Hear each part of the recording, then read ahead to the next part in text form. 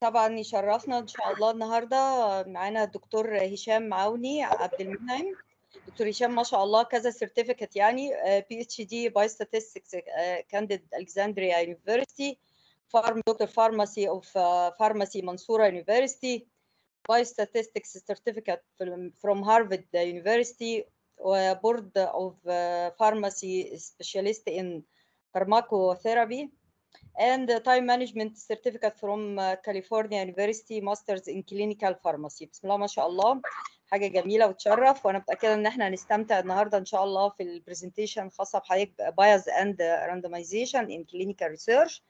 باشكر حضرتك واتفضل. ربنا. يخليك يا فندم. آه، ألف شكر لكم جميعا طبعا وشرف كبير ليا إن أنا أتواجد وسط هذه القامات الكبرى والبرنامج العظيم اللي عامله دكتور تامر اللي بدأوا وكملوه بعده طبعا السادة الأفاضل. الشكر للدكتورة منال أنور رئيسة القسم والدكتورة دعاء محمود منسقة البرنامج اللي تعبت معايا وعملت لي تدريب ودخلتني طبعا. شكرا. أنا برضه باشكر دعاء. فعلًا، شكرا. ربنا. يخليك. وطبعا الدكتور تامر بداية معرفتي بالبرنامج آه، كل الشكر ليكم وأتمنى إن شاء الله إن أكون على قدر الثقة اللي ادهاني الدكتور تامر. آه، بسم الله الرحمن الرحيم. آه، المحاضرة النهارده آه، بعنوان bias and confounding in clinical trials وبعد كده هنتكلم على أهمية ال randomization النهارده أنا جاي أقول إيه؟ جاي أقول إحنا آه، إيه موضوع ال bias وال confounder وليه اخترناه؟ آه، الموضوع كله بدايته هو evidence based medicine. يعني إيه evidence based medicine يعني medicine based على ال evidence يعني أنا باخد ال ال القرارات بتاعتي بناء على evidence بقراه ناتج من clinical trial وبالتالي لازم أكون عارف ال trials اللي مطلعة لي ال evidence دي قوتها فين؟ أين تكمن قوة ال clinical trials وبالتالي لازم يكون في مخي ترتيب معين. يا ترى مين ال trials القوية ومين ال trials الضعيفة؟ مش كل حاجة أقابلها أقول عليها أيوه. مش كل دراسة أقولها أجري على زملائي في القسم وأقول لهم يلا بينا ده النهارده لقينا تجربة بتقول كذا كذا كذا ننفذها. لا ده أنا لازم أكون واعي جدا وعارف إزاي أقرأ ال trial وإزاي أعرف مواطن قوتها ومواطن ضعفها وبنظرة عامة ليها أقدر أقول ال trial دي rejected سيبها مالكش دعوة بيها وال trial دي حلوة هاتها جمعها لي ولازم نكمل بيها إن شاء الله. ف... ده بالنسبة للموضوع اللي هبدأ بيه اللي هو ترتيب ال trials. وبعد كده هتنقل على موضوع ال bias. طبعا أنا متأكد إن في ناس كتير سمعوا عن الكلمة دي قبل كده وعرفوا يعني إيه بايس. بس يا ترى هل البايس معناه تحيز بس؟ وهل معناه إن في خطأ ارتكبه الباحث؟ وهل له أنواع معينة محدودة ولا عدد لا نهائي؟ ويا ترى أمثلته إيه بما إن إحنا هنوصل له عدد لا نهائي من الأنواع؟ طب يا ترى أقدر أتحكم فيه؟ يعني لو أنا غلطت غلطة هل ينفع إن الباحث بعد ما يغلط يصلح غلطته ولا خلاص اللي اتكسر ما يتصلحش؟ في مرحلة هنوصل لها نقول فيها اللي اتكسر عمره ما يتصلح. لازم نبدأ ال trial من الأول. لكن أحيانا الخطأ ممكن يتصلح. طيب بما إن الخطأ ممكن يتصلح يبقى في control ال control ده إزاي؟ وبعدين يعني إيه confounding confounding ده عامل خارجي بيأثر على ال trial. طب له تعريف؟ ما هو التعريف إحنا مشكلتنا إحنا دايما بتوع الطب إن إحنا لما بنمس نسمع حاجة ما بنحبش الجمل اللي هي عايمة دي. إيه عامل خارجي يعني بيأثر على ال trial قول لي definition محدد لو سمحت. بحيث لما أشوف عامل خارجي أقول أيوه هو ده confounder أو أقول لأ ده مش confounder يعني أنا عايز tools أحكم بيها. أمسكها في إيديا. وأقول إيه هو ال confounder وإيه هو اللي مش confounder وبعد كده بعد ما أعرف إيه هو أتحكم فيه إزاي. لأن مفيش تجارب خالية من ال confounding وأخيرا هنجاوب على الجملة اللي كلنا بنقراها في كل ال guideline guidelines قائمة على تم استخراجها وتم بنائها. بناء على RCT ليه كل الناس منبهرة قوي كده بال RCT هي يعني خلاص ده مسمينها ال gold standard طب ليه؟ ويا ترى فعلا تستحق هذه المكانة؟ دي كل الأسئلة اللي هنجاوب عليها النهارده. أول حاجة الجزء الأولاني هنقول ال hierarchy زي ما إحنا قلنا إن التجارب لازم لما أبص لها كده في في الطب وأنا عمال أقرأ ال articles والمقالات الطبية لازم أعرف إن في ترتيب لل trials من القوة للإيه؟ من الضعيف للأقوى. يعني أنا عندي الفكرة من الأول طبعا أنتوا كلنا عارفين إن البحث العلمي ده بيبقى له أساس. يعني ما فيش حد كده بيقوم الصبح يقول إيه بسم الله الرحمن الرحيم أنا فاضي النهارده هعمل بحث علمي. ما فيش حاجة اسمها كده. في حاجة اسمها فكرة اتقرت في مجلة أو فكرة تم ملاحظتها في معمل أو في أي سيتويشن وبناء عليها الفكرة دي اتكتبت في مكان معين. في باحثين عمالين يقروا الأفكار دي. اتولد عندهم فكرة إن هم يتابعوا الناس من في التجارب أو يكتبوا تقارير معينة عن حالات بيقابلوها case series و case و case report وبعدين حاولوا يعملوا تجارب قال لك نجيب ناس نديهم دواء وناس ما نديهمش دواء. لقوا إن الموضوع ده مش دايما ethical يعني ما ينفعش مثلا أشوف تأثير ال smoking على pregnant female إن هي بيولدوا أطفال low birth weight أو لأ. ما ينفعش أجيب الحوامل واقول لهم إيه هتشربوا سجاير يعني هتشربوا سجاير. غصب عنكم والتانيين أقول لهم مش هتشربوا. يا سلام. واللي هيشربوا سجاير هيقولوا لي نشرب ليه بقى؟ يقولوا هنشوف هتخلفوا low birth weight ولا لا. يا سلام. الكلام ده unethical طبعا. يبقى مش كل حاجة أقدر أعملها بال RCT عشان كده في حاجة في العلم اسمها observational تجارب أجيب ناس already بياخدوا بياخدوا ال exposure ده وأتابعهم. في ناس هم بيدخنوا. خلاص هم كده راضيين. هم حياتهم إن هم بيدخنوا. وبعدين حصل pregnancy اتابعهم لحد ما يشوف الإيه؟ الدليفري حصل. واقيس الأطفال وزنهم كام؟ واكتب عندي في التقرير low birth weight ولا normal birth weight وكمان تجارب تانية كتير بس ده مثال منهم يعني إن هو إيه؟ التجارب ال observation طيب أنت ليه بقى مدي أهمية كبيرة قوي للقمة السهم ده؟ أنت عامل لي السهم كده ما شاء الله. السهم ماشي كده يعني يتجه للقمة. من القاع للقمة. يعني ال RCT برضه حاططها لي في القمة. آه اسمها randomized DB يعني double blind controlled trial randomized وعرفناها. يعني إيه؟ يعني randomization و double blind هقول لكم عليها دلوقتي وأنا بشرح ال bias double blind يعني في single blind آه في single blind وفي triple blind وفي open طب controlled controlled بتاعت إيه؟ ما هو controlled ديت كلمة تصريف ثالث علمونا في الإنجليزي. إن تصريف ثالث حاجة كده زي إيه؟ وقع عليه الفعل. يعني وقع عليه ال control، إيه ال control اللي تم فيها عشان يتم وصفها إن هي controlled؟ يبقى الحروف دي مش مش عبط. ده الحروف دي لها معنى. هنشوفها دلوقتي وإحنا بنشرح وفي الآخر في ال take home message هقول لكم على ترجمة ار دي بي سي تي المهم البداية كلها الترتيب اللي حصل ده بسبب حاجة اسمها validity لما نسأل أي حد نقول له يعني إيه validity يقول لك صلاحية. يعني إيه صلاحية بقى؟ يعني حاجة قابلة إن هي تعتمد كشيء أو كمرجع أو كخلو من العيوب. طيب هل ال trial لها validity يعني إيه بقى التجربة صالحه قال لك إن التجربة الصالحة دي بيقسموها لجزئين صلاحية على المستوى الداخلي انترنال وصلاحية على المستوى الخارجي. الصلاحية بتاعت المستوى الداخلي يعني التجربة اتعملت إزاي؟ الباحث عملها إزاي؟ الستبس إزاي؟ 1 2 3 4 ولما أقرأ الستبس دي هحكم بيها إذا كان الصلاحية الداخلية متوفرة ولا لأ. فعشان كده يا ترى الباحث تختار البحث الطريقة المناسبة للتجربة؟ ويا ترى ما فيش عيوب؟ أهي ما فيش عيوب دي هو موضوع محاضرتنا النهارده. إحنا جايين نتكلم على العيوب بقى. إحنا النهارده بتوع العيوب اللي جايين نتكلم عن ال bias وال confounder كلمة الصلاحية داخلية همسك حتة من حتة الصلاحية الداخلية مش هقول كلها برضه عشان برضه إيه اللي بيسمعوني ما ياخدوش الكلام عليا. أنا عارف طبعا إن في ناس كتير عندهم خلفيات إحصائية وعارفين إن ال internal مش بس bias و confounder جزء منها bias و confounder هو ده اللي هتكلم عليه النهارده. وهو ده السبب في الترتيب الهرمي اللي أنا عملته ده. يعني ال R ال double blind control دي معناها controlled for bias and confounder التميز بتاعها في التحكم الشديد في ال bias وال confounder وضعها في قمة التصنيف بالنسبة لل clinical trial بينما ألقى بال observational studies في الجهات الخلفية حيث أنها أقل مرتبة ال cohort وال case control أول مبدأ تم ترسيخه ذهنيا عندنا إلقاء ال cohort وال case control في الخلف ووضع ال RCT في الأمام بناء على تميزها في التحكم في ال bias وال confounder.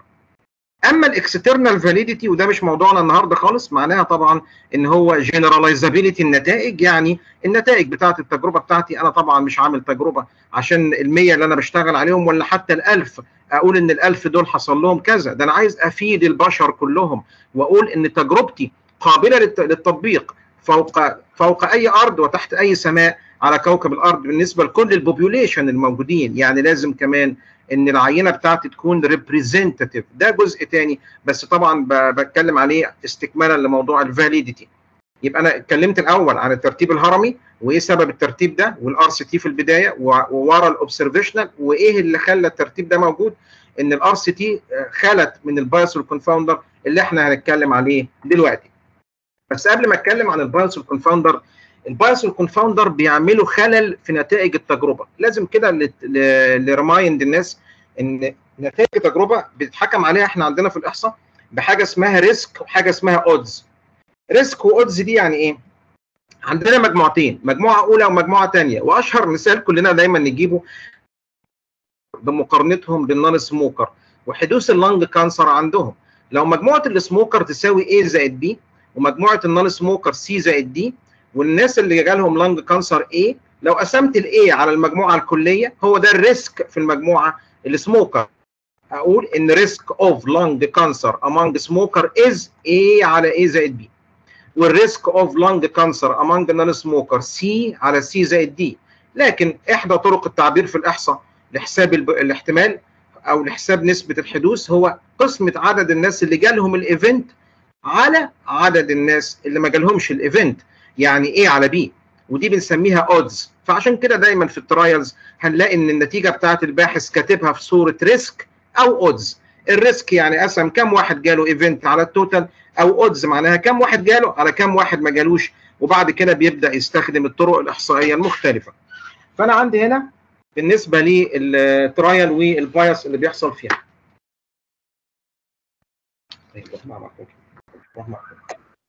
ماشي. يبقى أنا كده عندي إيه؟ وصلت إيه؟ إن ال إن ال risk وال odds دي الطرق اللي بتحكم فيها أو بقيس بيها نتائج التجربة. طيب نظرة عامة لل trial بقى عشان أشوف أخطاء الباحث إيه.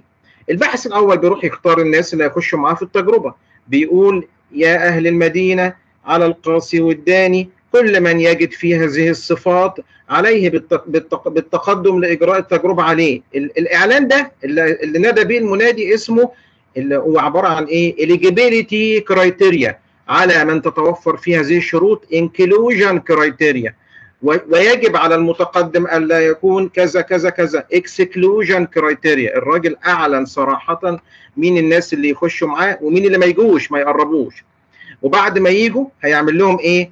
هيعمل لهم توزيع على ال groups بتاعه التجربة group 1 و group 2 اللي إحنا بنسميه channeling ويبدأ يمسك ورقة وقلم ويبدأ يتابعهم observe ويجمع منهم ال data وإيه لحد ما تنتهي التجربة ويلم ورق ويقول لهم شكرا ليكم سعدنا بلقائكم ونرجو أن نكون قد اسعدناكم ويمسك الورقة والقلم بتاعته ويبدأ يحلل نتائجه عشان يطلع يقول اللهم لك الحمد عملت بحث ما حصلش لا في قبلي ولا بعدي. ويبدأ يعمل إيه؟ النتائج بتاعته. فإحنا ليه بنعرض الخطوات دي؟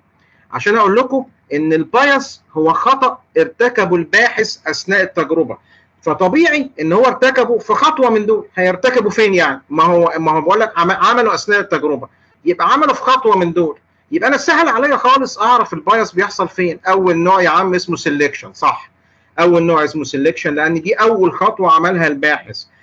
معقولة في حد يختار غلط؟ آه في حد بيختار غلط. مش أنت المفروض مثلا بتعمل تجربة. كلنا دايما نتهم ال aminoglycoside المسكين ده إن هو بيعمل renal failure فطبعا الاتهام ده ما جاش من فراغ. ده في ناس كتبوا أبحاث لحد ما أثبتوا الفكرة دي عندنا لحد ما خلاص الاقتناع بقى تمام. اوعى تقرب من ال aminoglycoside وال kidney فيها diminution kidney function أو في مشاكل إن ممكن ال patient ده developing renal failure فراح باحث محترم كده عمل تجربة عشان يدرس علاقة ال aminoglycoside بالإيه؟ بال renal failure ودخل ناس الناس دولت للأسف الشديد كان أعمارهم فوق ال 65 سنة ونسي إن هو خد زمان إن geriatrics physiologically عندهم diminution kidney function فلقى مجموعة كبيرة جالها إيه؟ جالها 60 واحد من ال 100 جالهم renal failure بس لما لما واحد تاني بيقرأ بقى البحث بتاعه قال على فكرة اللي جالهم renal failure دول مش عشان ال aminoglycoside ده عشان الراجل اختار ناس بشكل غلط. اختارهم ناس عندهم إيه؟ عندهم kidney function diminution physiologically they are geriatrics وال geriatrics معروف عنهم ال diminution kidney function لو كان اختارهم بشكل سليم إن هم من المجموعة اللي هي normal patient أو الناس اللي هم ال physiological function بتاعتهم سليمة كان ساعتها أي diminution في ال kidney function كان هيعزى بسبب إيه؟ إلى ال aminoglycoside يعني أفهم من كده إن حدوث ال renal failure تفرق دمه بين القبائل. ما بقناش عارفين. هو بسبب ال geriatrics الصفة الفسيولوجية اللي عند ال geriatrics ولا عشان ال aminoglycoside هو ده المشكلة اللي حصل عرفتوا إزاي ال selection bias أثر على النتائج؟ لخبط له النتائج. 60 واحد من إيه؟ من ال 100 و70 واحد من اللي ما خدوش جالهم إيه؟ جالهم جالهم برضه renal failure ما هم geriatrics بقى. وراح إيه كمان؟ ده المصيبة السوداء. لما طلع عمل risk بقى. طبعا الراجل حافظ الخطوات الرياضية. كتب risk ratio تساوي عدد الناس اللي جالهم ال event على ال total اكتب يا جدع 60 على 100 واديني monitor بتاعي 70 على 100 تساوي 85 من 100 يا أهل العلم مين يترجم لي النتائج دي؟ أنا يا دكتور أترجم لك. اتفضل. النتيجة بتقول إن الناس اللي خدوا ال aminoglycoside عندهم risk لل renal failure أقل من الناس اللي ما خدوش ب 15% يا سلام. what funny trial بسبب إن الإيه الخطأ اللي عملها عمله الباحث في الأول إن هو دخل ناس geriatric طلع في الآخر إن ال aminoglycoside protective against إيه؟ renal failure على عكس ما الناس متوقعة. فراح طبعا واحد بقى شاطر قال له بس بس بس أنت تقعد على جنب وتتفرج عليا هعمل إيه؟ أول حاجة الناس اللي أنت مدخلهم دول غلط. أنا هعمل inclusion و exclusion criteria مظبوطة. الناس اللي يخشوا معايا ال trial يكونوا من سن 30 ل 45 واعمل لك نفس الجرعات اللي انت اشتغلت عليها واجمع لك النتائج. قال له وريني. فعمل النتائج على 30 ل 45 سنة. ليه؟ لأنه بيفهم عارف إن تأثير ال physiological function بتاعة ال kidney هنا هيختفي. فيتبقى فقط تأثير ال aminoglycoside وبكده وبكده هيكون التأثير بتاعه عبارة عن إيه؟ عبارة عن أنا بس عشان أبين الجزء اللي تحت ده يمكن طريقة العرض مش موضحاه إن 30 ل 45 سنة وضح لي إن 55 جالهم kidney function renal failure من مجموعة ال exposed والمجموعة الثانية 20 اقسم 55 على 100 اللي هم إيه؟ ال numerator بتاعي. طب ال denominator 20 على 100 هو ده الكلام المظبوط. الناس اللي جالهم. renal failure في مجموعة ال aminoglycoside أكبر من الناس اللي جالهم. renal failure في مجموعة الايه not taking aminoglycoside بكام 2.57 times يا سلام. هو ده الكلام بقى اللي يملى العين. الكلام اللي متفق مع إيه؟ مع أفكارنا ومع تجاربنا هو ده. يبقى كده أول نوع خدناه وحفظناه اللي هو ال selection bias الراجل اختار غلط. وزي ما هو واضح الخطأ في إيه؟ الخطأ في في تحديد ال inclusion وال exclusion criteria طب ما بسيطة بقى. أنا كده ممكن أقول لك يا دكتور إزاي اتحكم في ال selection bias اتفضل قول. نعمل inclusion و exclusion criteria مظبوطة. يا سلام على الكلام. هو ده الكلام المظبوط وإلا فلا. فعلا طريقة التحكم في ال selection bias sharp and clear inclusion and exclusion criteria تعظيم سلام وتحية لل selection bias اللي فهمناه وهضمناه وحفظناه. بعد كده الراجل عمل إيه؟ ارجع يا ابني لل slide اللي فاتت راح عمل channeling يعني إيه channeling وزع الناس على ال arms على ال groups عشان يبدأ يتابعها يبقى ال channeling bias هيغلط في إيه تاني بقى يا دكتور في ال channeling في واحد مش عارف يوزع الناس على ال channeling يوزعهم إزاي؟ لا هو هيعرف. بس المشكلة إن الناس اللي جوله التجربة قبل ما يوزعهم عندهم risk level عالية في في مجموعة اللي دخلت group A أقل من ال risk level في مجموعة دخلت group B. مش واضح الكلام قوي زي المرة اللي فاتت. أنا عايز أوضح الكلام أكتر.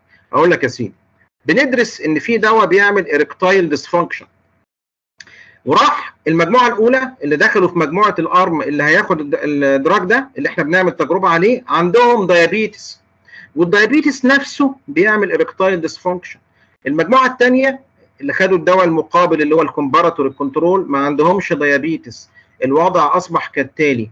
المجموعة الأولى ال risk level عندها أكبر من المجموعة الثانية وهو ده ال channeling bias عندها المجموعة الأولى more risky to develop the outcome than group 2 وبالتالي طلع إيه؟ طلع biased result. أدي بقى هنا إيه؟ شوف هنا نتيجة ال biased result كام؟ 90 على 100 بينما و20 على 100 طلع كام؟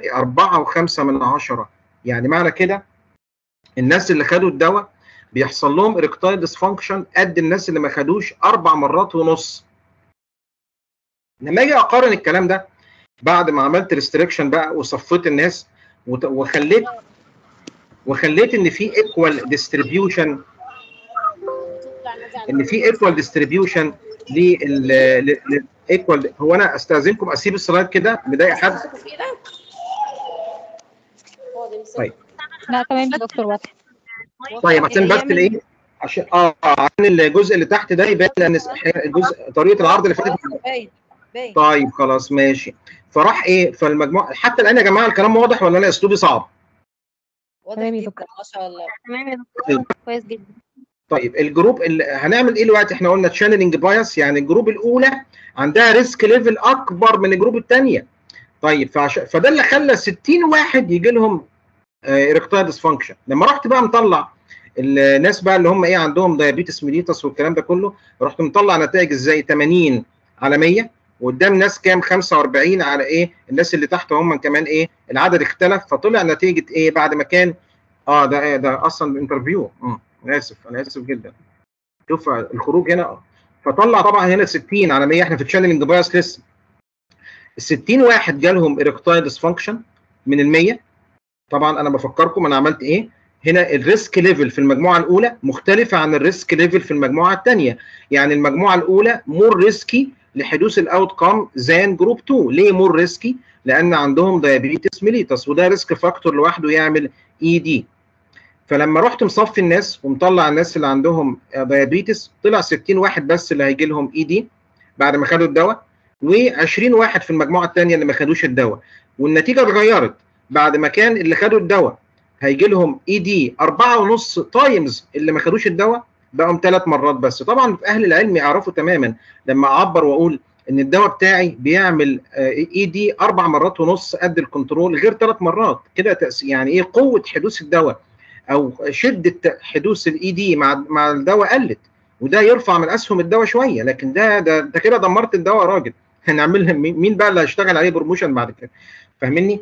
فدي اللي فدي ال channeling bias طيب الحل إيه بقى في ال channeling bias الحل في ال channeling bias إن أنا إيه أعمل randomization ليه randomization ال randomization يا جماعة آه الفكرة بتاعته إن أنا بعمل حاجة زي ال toss coin كده الملك يروح المجموعة الأولى والكتابة يروح المجموعة الثانية دايما بتوع الأحصاء يقول لك إن ال randomization هي الوسيلة الأساسية اللي بتعتمد على بنعتمد عليها في توزيع الصفات بين المجموعات. يعني إذا كان عندك مجموعة diabetes وعملت randomization بينهم لمجموعات غالبا نصهم هيروح المجموعة الأولى ونصهم هيروح المجموعة الثانية تمام؟ بصرف النظر بقى إن في ناس هيقول لك الكلام ده مش أكيد وكده لكن لما عملناه على نطاق واسع حصل فعلا إن دايما ال randomization أهميتها والميزة الكبيرة بتاعتها ensure equal distribution لل characteristic بين المجموعات. وبكل صراحة هو ده إجابة ال slide الأخيرة أو السؤال الأخير اللي عرضته في الأجندة لما قلت إيه اللي مخلي ال RCT تجلس على قمة الهرم منفردة؟ بسبب ال randomization ال R بتاعتها اللي في الأول دي. كرامة ال RCT في ال R اللي في الأول دي. لو شلنا منها ال R كرامتها تنهار طيب آدي بعد كده ال channeling bias وقلنا عليه. يبقى أنا كده خدت كام نوع؟ أنا خدت ال selection bias وخدت ال channeling bias اوعى تنسى إن ال selection bias اتحكمت فيه. بالإنكلوجن والإكسكلوجن كرايتيريا والتشانلنج اتحكمت فيه بالراندمايزيشن الحاجة الثالثه بقى ال observational bias ليه؟ لأن أنا قلت لك المرحلة الثالثه في ال trial هي مرحلة ال observation بعد ما الناس اتوزعت على ال group هيبدأ يمسك المجموعة الأولى يتابعها والمجموعة الثانية يتابعها. طيب تخيل الباحث عارف المجموعة الأولى هم الناس اللي خدوا الدواء والمجموعة الثانية هم الناس اللي ما خدوش الدواء. فالراجل داخل وعارف إن الأشخاص دول هم أشخاص المجموعة الأولى. أول لما حد من المجموعة الأولى يقول لي يا دكتور أنا جالي صداع طبعا أنا عارف إن هو خد الدواء اللي أنا بعمل تجربة عليه. أهتم قوي بقى بالموضوع لأن عارف إن هو خد الدواء. لا جالك صداع إمتى؟ قول لي. جالك الصبح ولا بالليل؟ ولما جالك استمر قد إيه؟ أوصف لي بالظبط مكانه. واوصف لي شعورك بالظبط لما الصداع جالك. هل جالك يعني إنعدام إنعدام وزن ولا زغلله ولا إيه بالظبط؟ لأن عارف إن هو خد الدواء. يجي واحد من بتوع المجموعة الثانية الغلبانين اللي ما خدوش الدواء. دكتور أنا جالي صداع. لا لا لا. صداع إيه؟ أنت بتهزر. ولا صداع ولا حاجة يا راجل. ده أنت زي الفل. لأن أنا عارف إن هو خد كنترول خد دواء فاضي. فأنا مش خايف منه. ومش قلقان عليه. فطبعا هنا ده اللي حصل اسمه observational bias بقيت أسجل إيه؟ كل كبيرة وصغيرة في المجموعة اللي خدت الدواء. والمجموعة الثانية أهملتها لأني أدري تماما إن هم واخدين بلاسيبو خلاص.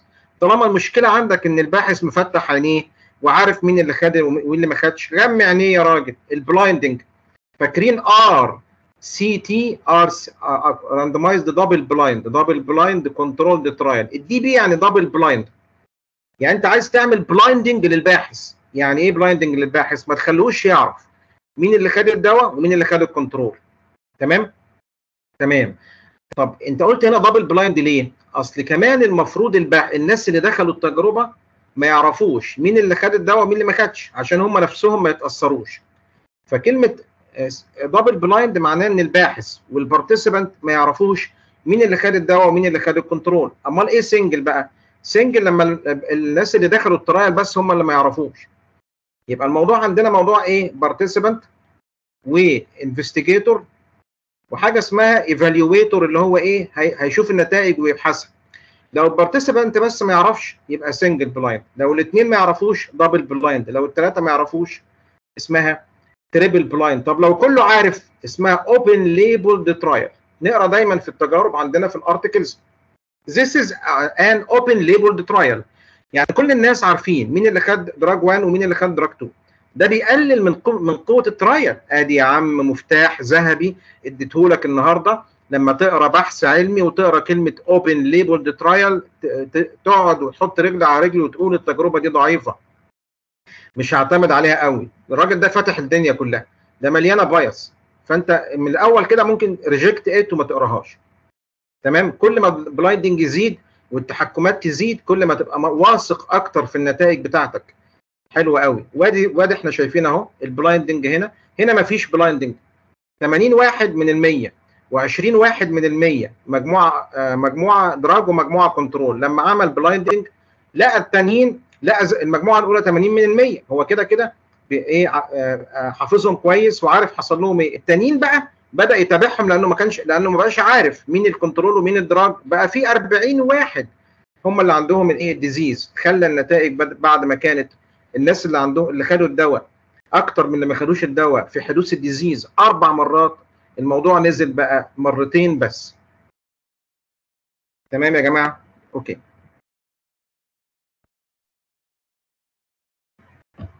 بعد كده هنبدأ نشوف بقى إيه؟ ال recall bias ال recall bias دي حاجة معتمدة على الذاكرة. يعني إيه معتمدة على الذاكرة؟ دايما إحنا ساعات بنقابل وضع في في ال trials بنسأل المشاركين آه أنتوا خدتوا حاجة في الماضي ولا لأ؟ أو تعرضت لحاجة أو لأ؟ فمن غير ما يبقى عندي documentation لل participant دول.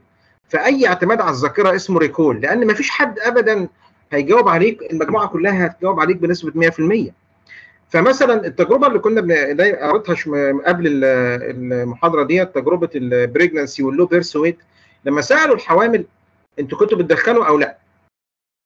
طبعا الناس اللي هم خلفوا أطفال low birth weight تخيل واحدة طفلها low birth weight ووضعها صعب وبدأت تفكر في مصير الطفل ده هيعيش إزاي؟ وهيدخل حضانة ويا ترى هيعيش أصلا ولا مش هيعيش؟ وأنت رايح تسألها حضرتك كنت بتدخني ولا لأ؟ تفتكر إجابتها هيبقى موثوق فيها؟ أكيد التوتر والضغط النفسي اللي هي عايشة فيه مش هتجاوب عليك بنسبة 100% لكن لو في ملفات واضحة للتاريخ ال social بتاع females دول هنقدر نفتحه بسهولة ونقول أيوه المجموعة اللي أنجبوا أطفال low birth weight كان عندهم smoker أو smoking history لكن يبقى معنى كده المفتاح الذهبي لل recall bias هو مين؟ documentation اعتمد على ال documentation ولا تعتمد على ال memory ابدا. وطبعا كالعادة أنا جايب لكم جداول تؤكد الموقف. ادي مجموعه الجدول اللي فوق الناس اللي إيه اللي اعتمدنا على ال memory والجدول اللي تحت الناس اللي ما اعتمدناش على ال memory اعتمدنا على الملفات فطلع في المجموعه الاولى نتائج biased والمجموعه الثانية نتائج unbiased مظبوطة فيها تحكم. طيب نروح بقى بعد كده interviewer bias دايما في ال interviewer bias بفتكر لجنة الشفوي. في لجنة الشفوي كان يجي لنا في كلية الصيدله أنا خريج صيدلة طنطا فكان بيجي لنا صيادله دكاترة من جامعة اسكندرية أو جامعة القاهرة. أحيانا حظي يدخل أدخل مع دكتور صعب جدا aggressive أول لما أشوفه ركبه بتخبط في بعضيها وأنسى الكلام وما أقدرش أتكلم بشكل كويس. لدرجة إن كان في دكتور مرة بيسألني أنت أهلاوي ولا زملكاوي؟ بخبث شديد. فطبعا ما بقتش عارف أقول له إيه أهلاوي ولا زملكاوي؟ أنا خايف يطلع أهلاوي أو زملكاوي. المهم يعني اللي إحنا بنقابله ده اسمه تأثير ال interviewer على الشخص اللي انت بتقابله. فلك أن تتخيل إن إحنا كفريق طبي بنقابل المرضى وبنجمع منهم data إحنا مش كلنا لنا نفس ال attitude. في مننا اللطيف الهادي ذو الابتسامة الجميلة وفي واحد طبيعته كده كشري عنيف aggressive ربنا خلقه كده يعمل إيه يعني؟ فهو بيع- بيعلم بي- بيعامل الناس بعنف لدرجة يقابل المريض قول لي هو أنت حصل لك إمبارح؟ آه أنت كان خدت الدواء ولا ما خدتوش؟ الراجل يكره نفسه يحس فعلا إن هو إيه خلاص يعني المقابلة هتنتهي إمتى؟ أيوه يا دكتور والله العظيم خدته. أقسم بالله خدته يا دكتور والله. فطبعا ال- ده هيؤدي إلى نتائج مش مظبوطة. فالحل إن أنا إيه بقى؟ شيل ده من ده يرتاح ده عن ده بلاش يا عم تقابل حد بحد خلي كل واحد يكتب لنفسه. اديله ورقة أو حد من عيلته يسأله وإيه وتخليه يجاوب في ورقة إن هو self assessment يكتب البيانات بتاعته ونجمعها ولا ولا ولا نخلي الفريق المعهد بتاعنا يأثر على الناس ولا يطلعوا يتكلموا علينا بره ولا حاجة. وكل شيء إيه؟ وإن الله حليم ستار. interviewer bias ال misclassification bias بقى. misclassification bias هي وصلت للدرجة دي إن أنت مش عارف تصنف الناس. هو أنت خلاص يعني ما خدتش ما دخلتش كل الطب ولا الصيدله قبل كده؟ لا. ما في حاجات أنا ما بعرفش أصنفها. إزاي بقى؟ يعني اولا عايز أقول لك التصنيف ده لل patient في مرحلتين. مرة بناء على ال exposure ومرة بناء على الايه ال disease يعني إيه؟ أحيانا مجموعة اتعرضت أقول إيه أقول عليهم ما تعرضوش. ومجموعة تانية ما تعرضوش أقول عليهم اتعرضوا. في سؤال مثلا إيه ممكن تسأل واحد تقول له أنت بتشرب كمية كحول قد إيه؟ سؤال صعب. إيه اللي بتشرب كمية كحول قد إيه؟ لأنك أنت واخد في الكتب mild و moderate و severe فانت بقى فاكر بقى ان هو هيقول لك إيه 212 مللي. يا سلام. لا والله. طبعا ما حدش هيقول كده. سؤال صعب يعني. انت عايزه يقول كده عشان انت إيه حافظ في الكتب الدكاترة ادولك ان ال- ال- ال severe ي- يتعالج بالشكل كذا mild كذا. فبالتالي الأسئلة اللي من النوع ده أسئلة flexible هتخليك تحط الناس في مجموعات وهم مش في المجموعة دي. طبعا الدوائر الدوائر ال- ال- السوداء دي معناها ناس اتعرضوا. فراحوا نزلوا تحت في إيه في مجموعة الناس اللي ما تعرضوش. تمام؟ أو تكون أنت معتمد على طريقة غلط في التصنيف. ال blood pressure كل يوم ال Joint Commission تطلع لنا بقاعدة جديدة. guidelines Joint Commission 8 Joint Commission 7 Joint Commission 9 إعادة تصنيف ال blood pressure ما بقوش hypertensive جننا كل شوية. طب وبعدين في واحد لسه ما وصلوش العلم ده. فصنف واحد على إنه hypertensive وهو مش hypertensive لأنه لسه عايش في الإيه؟ في ال mode القديم بتاع إن ال hypertension بيعتمد على الأرقام القديمة اللي لسه ما اتحدثتش لأنه مش مطلع على أحدث ال guideline وبالتالي عمل تصنيف غلط. لو الغلط حصل في المجموعة الأولى والمجموعة الثانية بنفس المعدل بنسميه non-differential لأن طبعا يعتبر لا بعضه لكن لو حصل بمعدلات مختلفة يعني أخطأ بنسبة 20% في المجموعة الأولى و40 في المجموعة الثانية يبقى كده فرق ما بينهم وأصبح ال misclassification يسمى differential misclassification bias يبقى أقول تاني عشان النوع ده برضو من الانواع اللي صعب شوية تقبلها. misclassification bias إن الباحث بيكتب الناس اللي دخلوا المجموعة معاه سواء الناس ال exposed يحطهم على إن هم not exposed بشكل خاطئ لأسباب مختلفة أو الناس اللي بي اللي بيشوف ال outcome بتاعهم يعني عنده cardiovascular disease ولا لأ أو عنده blood pressure ولا لأ أو عنده diabetes ولا لأ هو معتمد على آه على tools غلط فكتب إن هو عنده وفي الواقع هو ما عندوش. يعني وضع ال patient في category خطأ غير ال category ال correct اللي المفروض كان يكون فيها.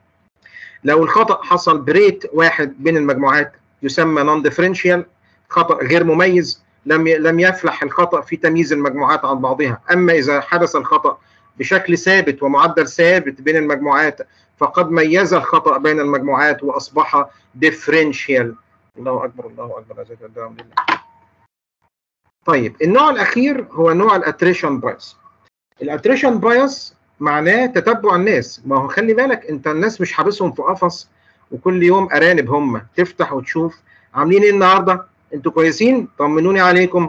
ما ينفعش. الناس ديت بتروح حياتها وبترجع لك أو بتتابعها بالواتساب أو بالموبايل شهور وأيام وليالي. فلازم تتابعهم. وبعدين في واحد حصلت له حادثة ومات يا أخي أعمل لك إيه يعني؟ خرج من التجربة. أو ليه حصلت له حادثة؟ زهق منك. هو هنتكسف زهق مننا. أنت في الأول كان الجو لطيف وكده. كل يوم كل يوم يجي لك لمدة ست شهور تعب الراجل. ما بقاش يجي. قفل موبايله وقال لك خلاص مش هرد عليك تاني. ففقدان تتبع الناس اسمه attrition bias بعد ما كنت بادئ مثلا ب 10000 واحد النتيجة انتهت ب 5988 هم اللي كملوا معايا للآخر. طب وال 4012 واحد دول أعمل فيهم إيه؟ يعني مش عارف أنا دلوقتي. بدأوا معايا من الأول. ده قصة تانية بقى. ده يعني إن شاء الله محاضرة تانية لو ليا نصيب أكمل معاكم. أقول لكم أعمل فيهم إيه دول؟ 4012 واحد. يا ترى أعمل معاهم إيه؟ أطلعهم وأعتبرهم كان لم يجوا.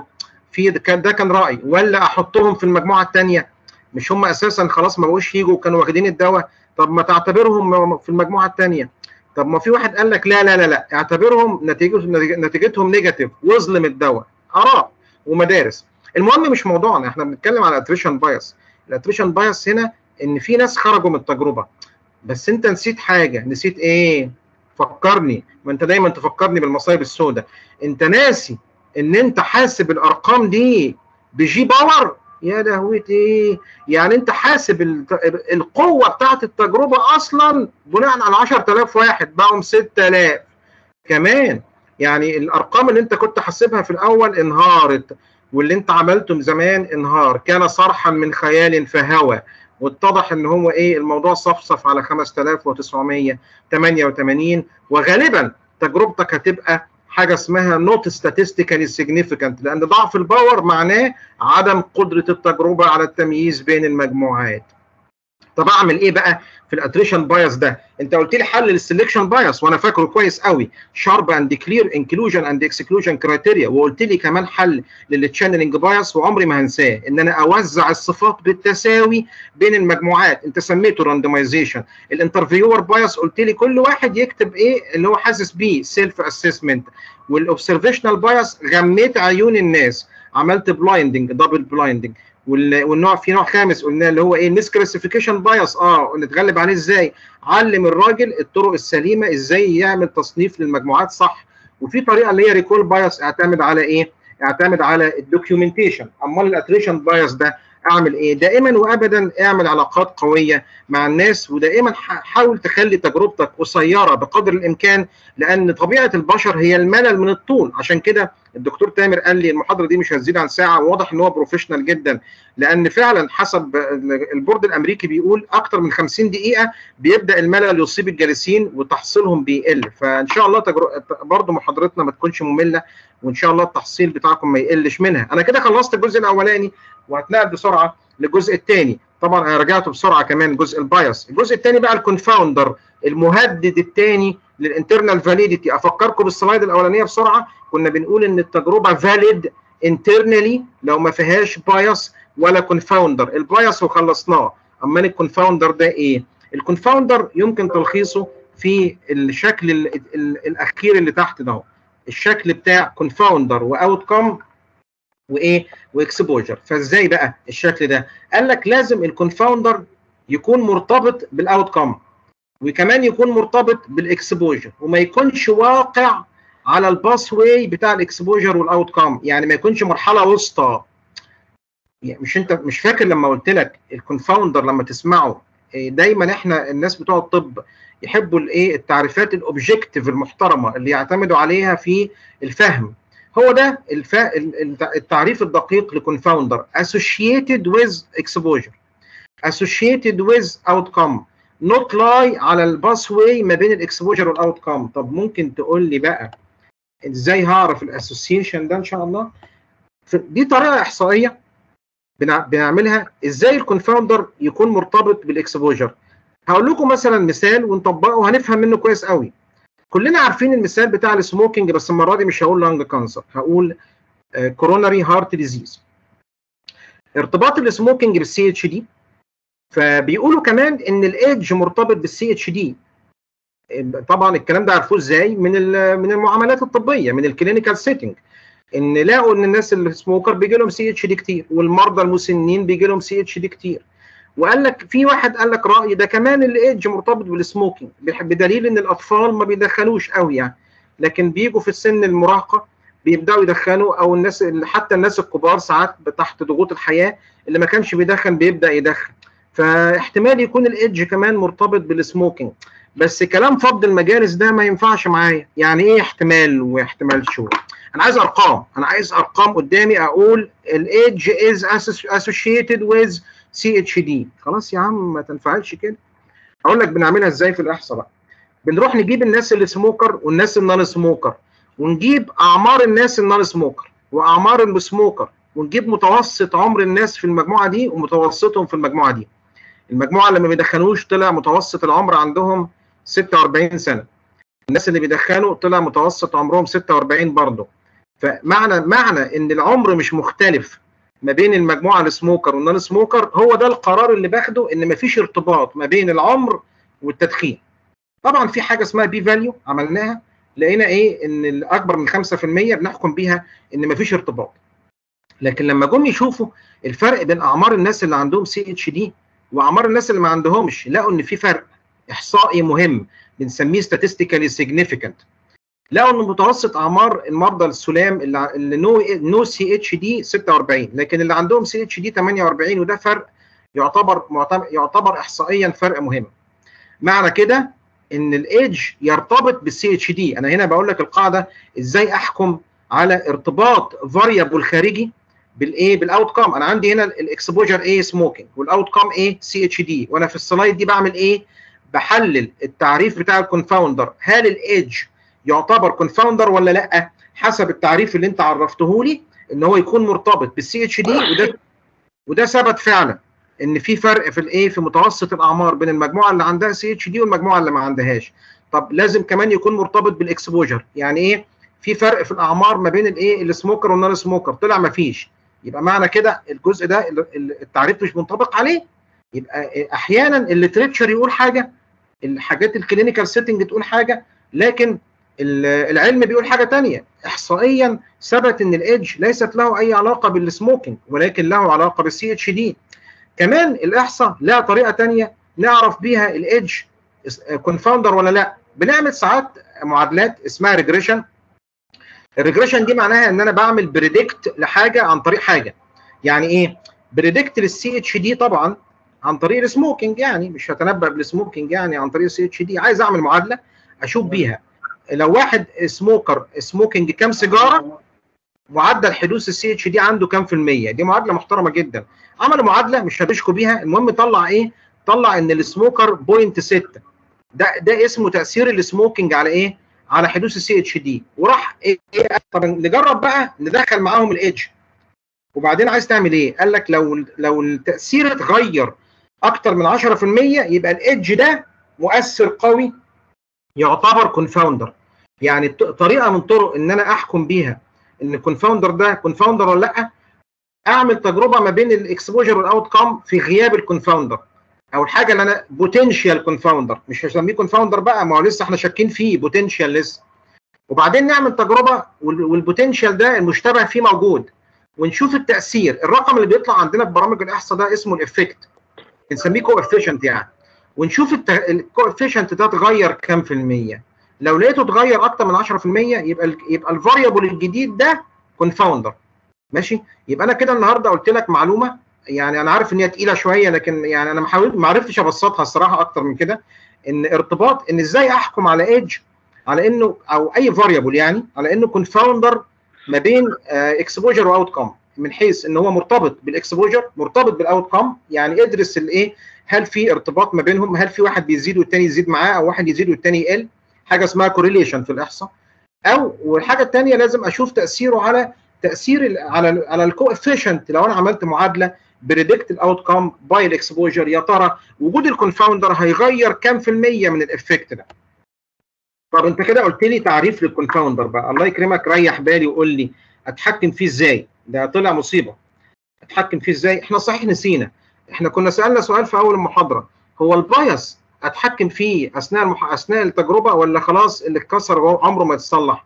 للأسف الشديد ال bias لو أنا اكتشفته بعد انتهاء التجربة أثناء ال analysis ما أقدرش اتصرف فيه.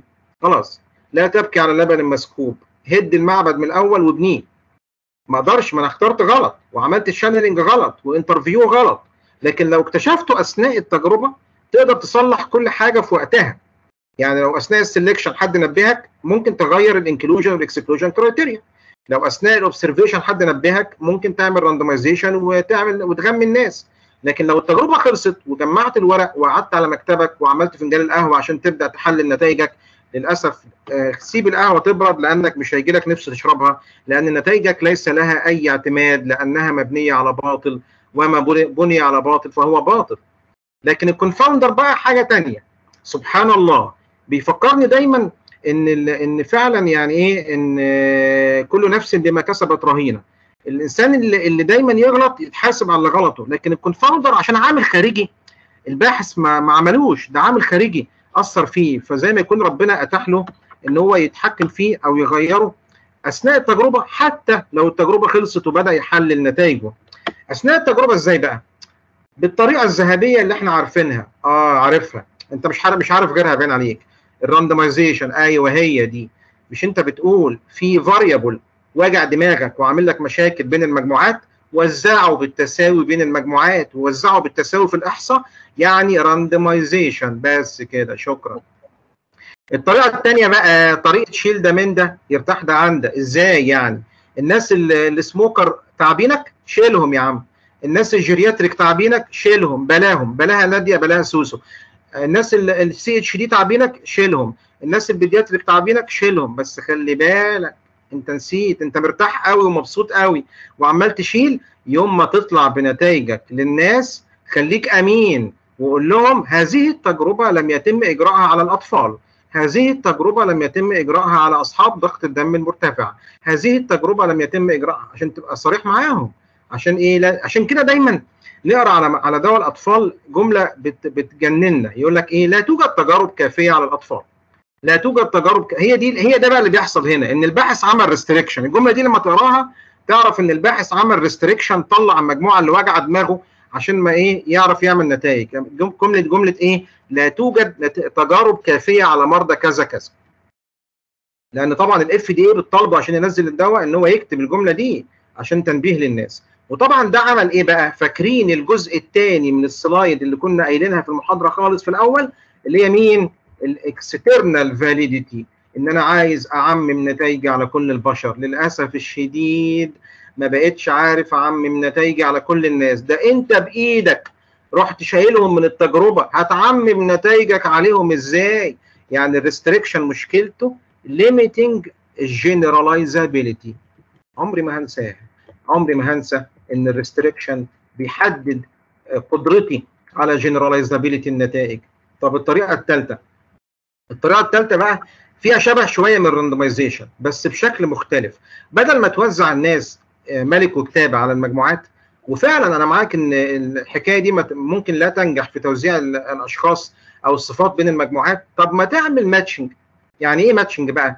يعني كل واحد في المجموعة الأولى دور على واحد زيه في المجموعة الثانية عندنا خمس أشخاص في المجموعة الأولى وخمسة في المجموعة الثانية مثلا يعني الشخص الأولاني عنده 65 سنة وعنده kidney function كذا و hepatic و hepatic function كذا وال serum creatinine كذا كذا كذا. وهات واحد بقى زيه. أتحداك لو عرفت تعمل خمسة بس. يعني معنى كده موضوع صعب جدا. أنت بتهزر. لو رحت يا عم بين أصحابك وجبت ثلاثة شبه ثلاثة عمرك ما تلاقي الكلام ده. أنت بتحلم. ده موضوع صعب جدا ومكلف و time consuming وهيخليك في الآخر تقول لقد رضينا بوجود 60 شخص بعد ما كنا عاملين حسابنا على 200 وخلاص بقى. يعني والحكاية دي متعبة قوي إلا متعبة ده أنت كده نتائج هو لأن ال sample size طبعا لها أهمية كبيرة عندنا في الإحصاء وحسابها بيأثر جدا في النتائج وفي اعتماد الأبحاث. طب أنت قلت لي وعدتني وعد إن ال confounder بتحكم فيه أثناء التجربة وكمان أثناء ال analysis يعني لو لو جمعت نتائج الناس وقعدت أحلل هعرف أتحكم فيه لو أنا عرفت إن في confounder فعلا. عندنا في برامج الإحصاء حاجة برنامج اسمه SPSS وبرنامج اسمه Stata في ايقونه خاصه كده اسمها confounding يعني لو في confounder اتك عليها بس ودخل النتائج وسيبها. الحكاية دي اسمها multivariate analysis خيال علمي. هو يتحكم في نفسه انت بس قول له بس. انت قول له بس إيه؟ قول له ان في confounder وهو هيعمل الواجب. بس كده. في بقى طريقة ثانية بيقول لك إيه؟ إذا كان مثلا ال confounder ده sex يعني إيه sex ال female مختلفين عن ال male في التجربة. طب ما تحلل نتائج ال female لوحدهم وال male لوحدهم. آه حاجة اسمها stratification جاية من stratum مفرد مفرد كلمة strata strata طبقات و stratum طبقة واحدة. فأنا هاخد طبقات فأعمل stratification stratum 1 stratum 2 stratum 3 وأطلع نتيجة كل واحدة فيهم وجع دماغ. بس حل أهو مالكش دعوة بقى هو أنت اللي موضوع دماغك دماغي أنا أنا حر فيه. هوجع دماغي وأعمل إيه؟ و stratification خلاص؟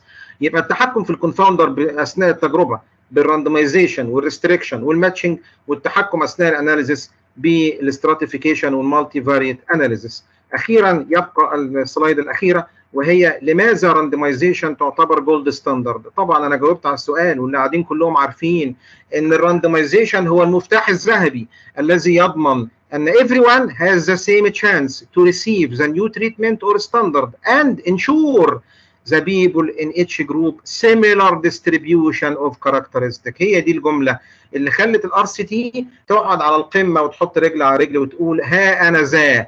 ال gold standard اللي ما فيش قبلي ولا بعدي. كل أصحاب ال guidelines سيتجهون إلي لكي يستنبطون مني. ال guidelines وينشرونها في أحرص المواقع العلمية. لا لشيء إلا أن أفرادي يمتلكون نفس الفرصة للظهور في المجموعة الأولى والثانية وأن الصفات متوزعه متوزعة بشكل even و distribution و equal ما بين المجموعات.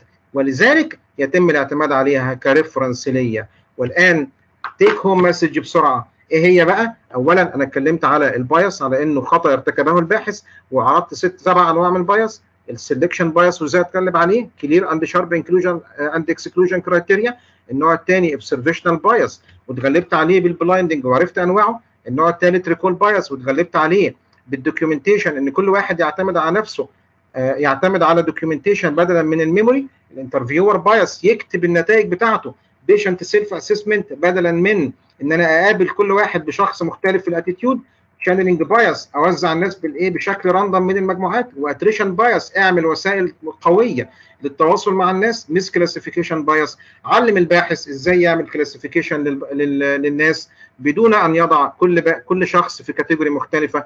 وأخيرا عرضت ال confounding وعمل الشكل اللي هو ممكن يلخص لك كل حاجة من ده. إن ال confounder مرتبط بال exposure وال outcome وكمان لا يقع على ال pathway ما بين ال exposure وال outcome ليس مرحلة وسطى التحكم فيه. أثناء أثناء الترايل بالراندمايزيشن بالريستريكشن بالماتشنج أثناء ال analysis بال multivariate وال stratification وأخيرا ال randomization هو ال gold standard لأنه يضمن even distribution للصفات ما بين المجموعات. وعشان كده خلصت محاضرتي قبل الوقت المتوقع بسبع دقائق وأقول لكم thank you وشكرا لكم إن أنتم اتحتوا لي الفرصة العظيمة دي ان ألتقي بالقامات الكبرى وحقيقي شرف كبير ليا إن أنا أجلس في هذا المقعد أمام اساتذه كبار زيكم. شكرا لكم وشكرا جدا جدا. السلام عليكم ورحمة الله وبركاته. ألف شكر يا دكتور هشام. بصراحة يعني يعني محاضرة شيقة. بجد أنا استمتعت. بجد جميلة ربنا يخليك يا دكتور.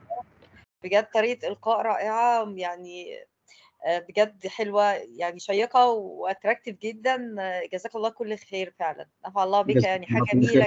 ما شاء الله عليك. شكرا يا دكتور منال على كلامك الجميل ده وسام على صدري فعلا يعني. جزاكم الله كل خير. وبعدين ما حسيناش بالوقت. أنا عن نفسي يعني خالص يعني. جميلة ربنا يخليك. الحمد لله إنك ضيف خفيف عليكم. الحمد لله. آه، أستأذنك بس دكتور تامر. أول واحد رفع إيديه اتفضل يا دكتور تامر. السلام عليكم. وعليكم السلام ورحمة الله دكتور تامر. اتفضل يا فندم. ورحمة الله وبركاته. أنا يعني طبعا أنا بشكرك دكتور هشام على المحاضرة الجميلة دي ويعني عايز أقول آه، يعني آه، يعني أنا اتعرفت على دكتور هشام إزاي يعني؟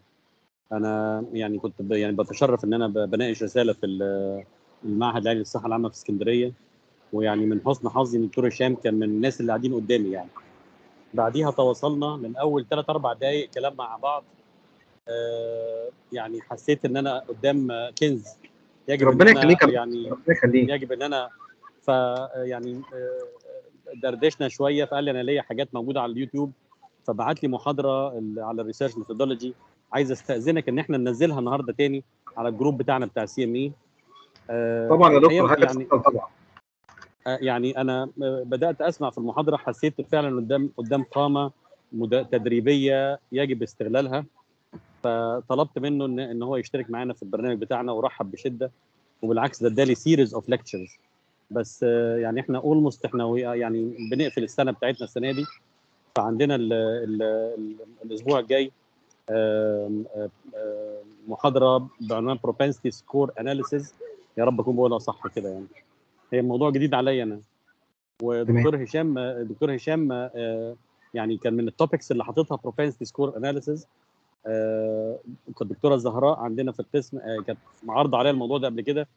فلما لقيته اتكرر مرتين يعني من من قامتين يعني أنا بعتز بيهم ربنا يكرمك. خلاص يبقى يبقى محاضرتنا الأسبوع الجاي على ال propensity score analysis وأعتقد إن هو continuation لما بدأناه النهارده. فأنا بدعوكم جميعا إن أنتم تكونوا معانا الأسبوع الجاي. وأنا يعني بس يعني بعد إذن طبعا دكتورة منال إن هتكون الأسبوع الجاي المحاضرة الأخيرة لينا في في الموسم دوت. وهنسيبكم تاخدوا أجازة آه، مننا شوية ونرجع نبدأ تاني مع بداية العام الدراسي. شكرا مرة ثانية يا دكتور هشام وأنا مش هاخد وقت ال- الأسئلة بس يعني بقى أحييك وأشكرك. شكرا جدا يا دكتور تامر على كلامك الجميل ده وجزاكم الله كل خير مرة تانية على إتاحة الفرصة ليا للتواجد في المنتدى العلمي الجميل ده. شكرا يا دكتور تامر شكرا. ربنا يكرمك يا دكتوره منال دكتور وليد آه، شروبي آه. اتفضل. اتفضل يا دكتور اتفضل يا فندم. السلام عليكم دكتور هشام. عليكم السلام ورحمة الله دكتور وليد. اتفضل يا فندم. استمتعنا فعلا والله. ربنا يخليك يا دكتور. اتفضل. آه كان عندي سؤال بس شوية دكتور وليد من فضلك علي فيه شوية. حاضر يا فندم. كان عندي سؤال بس على ال confounder دايما بنسمع جنبه قصة ال effect modifier إيه يعني آه. إزاي أفرق ما بين الاثنين وإزاي احصائيا أتعامل مع الاثنين تمام يا دكتور تمام. ماشي يا فندم. ده طبعا سؤال ممتاز جدا. وأنا سبحان الله يعني أنا كنت هعرض ال effect modification بس أنا طبعا بما إنه خارج الموضوع بتاع أنا بس عايز أشوف الجا ده كده ممكن. هل آه، عشان ال- الأرقام دي ما تتكتبش. أيوه بس كده. هو ده كلمة يا دكتور effect modification معناها لو أنا مثلا عندي variable 1 وال Y وال Y 1 هي إيه؟ هي ال outcome بتاعي. وعندي variable تاني X 2 ال X 2 ده بي وجوده بيأثر على النتيجة. يعني بيحصل interaction ما بينه وما بين ال variable ده. عندنا في الإحصاء كلمة interaction يعني وجودهم الاثنين مع بعض خلى التأثير يختلف. فإحنا عندنا برامج الإحصاء بنعمل إيه؟ بندخل ال variable عندنا box كده اسمه ال predictors اللي هي ال variable اللي هتتنبأ بال outcome عندنا box في برنامج الأحصاء اسمه outcome بكتبه هنا.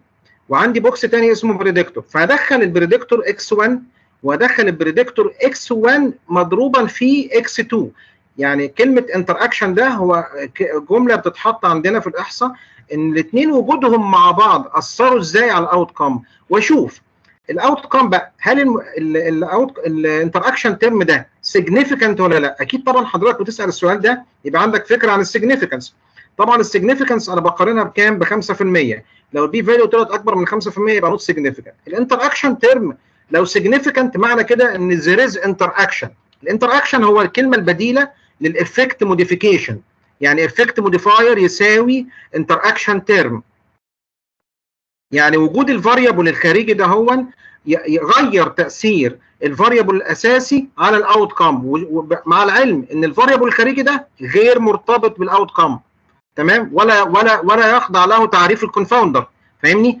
عشان برضو إيه آجي الحته أنت بتسال فيها. ال vari- ال confounder زي ما أنت شفت كده عندي إن ال confounder مرتبط بالايه بال outcome وال exposure إزاي عرفتهم؟ عملت معاهم association لكن هنا مفيش ارتباط. ما بين ال variable الخارجي وال outcome لا ينطبق عليه تعريف ال confounder لكن وجوده عمل تفاعل. عمل تفاعل مش تفاعل كيميائي.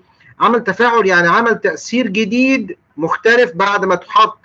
التأثير اختلف. فوجودهم الاثنين مع بعض بدرسه على ال outcome عشان أشوف وجودهم الاثنين مع بعض مؤثر ولا لأ بحطهم في موديل برنامج الإحصاء بيقول لي هل وجودهم الاثنين مؤثر ولا لأ؟ بيعبر عن ده بإيه؟ بنتيجة اسمها وجود ال interaction بينهم significant ولا لأ. ما أعرفش إذا كان كده الكلام بتاعي واضح ولا حضرتك هتسأل برضه؟ لا واضح يا فندم واضح. يعني هل معنى كده إن إحنا ال confounder أنا لما باجي أتعامل مع الإحصاء بتاعته بحاول إن أنا أشيله؟ في حين لا. إن لا يا دكتور ما تشيلوش. ما تشيلش confounder زي ما أنت شفت كده يا دكتور أنا- أنا عامل إيه؟ عامل طرق بتاعه قصدي. لا أنا عامل لا أنا بكتب ال confounder بعمل فيه إيه؟ بعمل multivariate analysis يعني إيه multivariate analysis برنامج الأحصاء اللي عندي برنامج SPSS وتلاقيني شغال بيه أهو تحت على الشمال مش عارف أنا مش مشاهد الشاشة طبعا. البرنامج ده بيدخل لك ال confounder في القصة. فأنت بعد ما يدخله لك في الموضوع بيطلع لك معادلة المعادلة دي فيها ال confounder تمام؟ فهو بيعمل لك تحكم فيها. يعني كلمة مش فاكر لما قلت لك multivariate يعني أعمل test خاص بالتحكم. أنت تسمع عن test اسمه ANCOVA؟ آه يا فندم. آه إيه الفرق بين ال ANOVA وال ANCOVA؟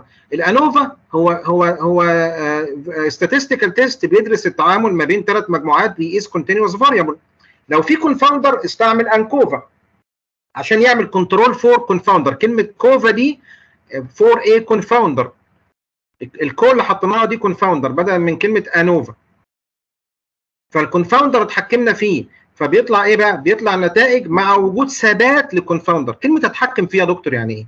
عشان في ناس كتير يقول لك اتحكم فيه اتحكم فيه، اتحكم فيه إزاي؟ اتحكم فيه يعني بيطلع نتيجة ال variable الاساسي على ال outcome عند قيمة ثابتة لل confounder. ما هو فاكر لما زمان خدنا في في الفيزياء يقول لك إيه؟ التحكم في تأثير الايه؟ فرق الجهد على المقاومة. أيام الفيزياء زمان كنا نقول لك إيه؟ ثبت التيار الكهربي، مش إحنا عندنا ثلاث متغيرات التيار الكهربي والمقاومة وفرق الجهد عشان تشوف التأثير تغيير التيار الكهربي على المقاومة تعمل إيه؟ عند ثبات فرق الجهد، فاكر الجمل دي؟ آه كان تشاش يعني آه يعني أيام آه أيام زمان مش عايزين نقول بقى من كام سنة عشان ما نفضحش نفسنا في العمر يعني. ماشي ف multivariate analysis معناه إن أنا أثبت قيمة ال confounder وأقول تأثير ال predictor على ال outcome. هو ده معنى كلمة أتحكم فيه، أكتب معادلة المعادلة دي هتطلع لي إيه بقى المعادلة؟ هتقول لي مثلا هتقول لي مثلا معادله هريحك أنا أقول لك مثلا ال CHD يساوي 2 من 10 smoking 2 من 10 smoking ناقص 3 من 10 ايدج حيث ال smoking اتقاس بعدد السجاير الشخص بي بيدخنها. يقول لك عند ايدج 46 سنة. بس كده. إيه اللي بقى إيه اللي بيحصل بقى؟ تدخين 20 سيجارة يؤدي إلى زيادة احتمال CHD by 30% خدت بالك بقى؟ دي المع... أنا دي المعادله اللي أنا نفسي أوصل لها. تمام يا فندم واضحة. كتر خيرك. آه. تحت أمرك يا دكتور. أي سؤال تاني؟ دكتورة إيمان دكتورة إيمان محمود حلمي اتفضل. محمد حلمي اتفضلي يا فندم. آه، السلام عليكم. وعليكم آه، السلام ورحمة الله وبركاته. شكرا يا دكتور هشام على المحاضرة الحقيقة الأسلوب الله يكرمك بس هو أنا بس ليا تحفظ إنه يعني الموضوع سريع يعني حضرتك بس الدنيا كانت بسرعة شوية كان يعني مم. كنت عايزة الريت أبطأ من كده لأنه طبعا طريقة تحصيل كل واحد فينا أكيد مختلف عن الآخر يعني. آه أنا دي آسف حاجة. فندم والله على السرعة بس أنا كنت أنا الوقت بتاعي. آه. بالوقت. هو أنا آه. ك- كنت شايفة إن كان ممكن تتقسم على اتنين آه، بس آه، بحيث نتكلم على ال confounder بطريقة يعني more detailed بس هو يظهر بقى ال schedule يعني آه، بيتحكم في الموقف شوية. تمام. آه، الحاجة التانية اللي كنت عايزة أحكي عليها ال channeling ال bias اللي بيحصل في ال channeling هو أنا ليه ما يعني يعني لو أنا عندي bias في الحتة دي ليه ما بأخدوش في ال exclusion وال inclusion criteria يعني حضرتك قلت ال diabetic patient. في ال channeling هيأثر على ال group ده لو هو آه، يعني included فيه. طب هو أنا ليه ما استبعدتهمش من الأول ال diabetic patient ده؟ لأن أنا كنت عارفة إن هو كده كده هيأثر على ال outcome تمام مظبوط. طريقة ال restriction حل مش سليم في كل المواقف. لأن زي ما قلت لحضرتك ال restriction حل محفوف بالمخاطر. اولا هيحدد لي ال sample size اللي أنا حاسبها. ثانيا هيحتم عليا إن أنا لما أطلع بنتائجي مش هقدر أعمل generalizability السكر لا أحسن لي أوزعهم بالتساوي بين المجموعات وبكده التأثير يبقى موجود عليهم برضه آه آه، يعني أنا قصدي ال criteria بتاعتهم ما تستبعد يعني أنا آه آه. حاسبة ال sample size بس آخد ال sample بتاع بتاعتي من ناس تانيين مش diabetic يعني يعني ماشي. م- لو أنت ع... لو أنت عايزة تعملي compensation ال sample size بحاجة ثانية بس في الآخر هل ال applicability على ال applicability على على ال diabetes هتنفع معايا؟ يعني هل ينفع شريحة جامدة في المجتمع زي ال diabetes؟ أقول التجربة تم استبعاد ال diabetes تماما. طب النتيجة بتاعت الدواء هنا بالنسبة لهم هتبقى عاملة إزاي؟ لا أنا- ممكن أعمل تجربة لوحدهم يا دكتور بعد كده ولا صعب؟ إيه؟ يعني هو طبعا كوني أعمل تجربة ده حل من الحلول. إحنا لكن مش دي كل الباحثين بيلجأوا لها. هو طبعا ما شاء الله حضرتك واضح إن عندك أفكار creative جدا. فعلا آه يعني أنا أجيب الناس diabetic وأعمل عليهم تجارب pure. ودي حل من ضمن الحلول لو في شريحة مضايقاني. واضح إن حضرتك بتقري في الإحصاء كتير ما شاء الله و- وأنا بشهد ليكي بال creativity لأن فعلا دي طريقة تفكير في الباحثين إن هم ياخدوا الشريحة دي ويعملوا عليها أبحاث خاصة بيهم لوحدهم. لكن مش كل الناس بيطبقوا كده. لكن طبعا دي اوبشن متاح. آه. طيب ماشي يا دكتور. شكرا جزيلا. تحت أمرك يا دكتور تحت أمرك. دكتورة سماح أحمد اتفضلي.